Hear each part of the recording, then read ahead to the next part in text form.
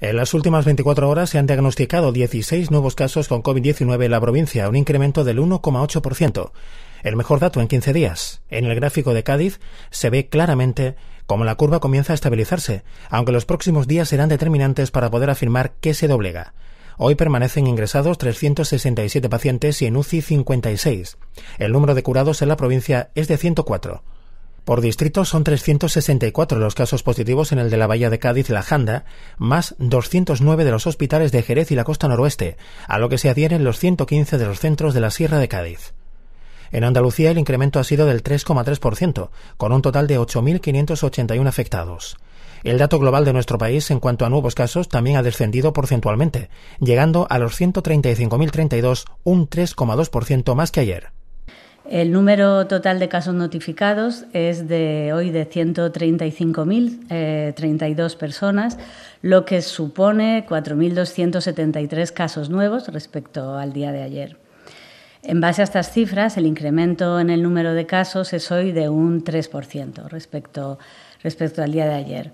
Es verdad que es importante que pasen unos días para consolidar toda esta información epidemiológica, pero realmente estas cifras van confirmando un día más esta tendencia descendente que, venimos observando.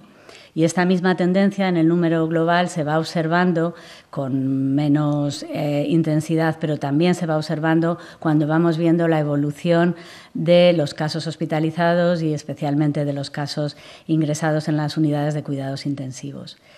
Eh, en este sentido y por los distintos análisis que estamos haciendo, lo que vamos observando es que la tasa de crecimiento de la pandemia está disminuyendo en prácticamente todas las comunidades autónomas y esta bajada se refleja también en la bajada en el número reproductivo básico, que lo que nos indica este número es el número de casos secundarios que se están produciendo a partir de de cada uno de los casos confirmados.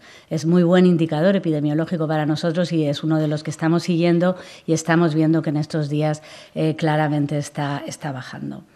Eh, y como saben, en cualquier caso, esta información viene, viene de los datos que nos van notificando las comunidades autónomas y, como ya hemos dicho alguna vez, es importante tener en cuenta que en estas semanas la vigilancia, la vigilancia que se hace desde todos los sistemas de salud pública de las comunidades, se está centrando sobre todo en los casos graves, además de los profesionales sanitarios y personal esencial, pero está sobre todo en los casos graves, que son los que se están confirmando microbiológicamente. Por eso nuestro seguimiento de casos hospitalizados es, tan importante y es lo que en este momento nos está marcando la evolución.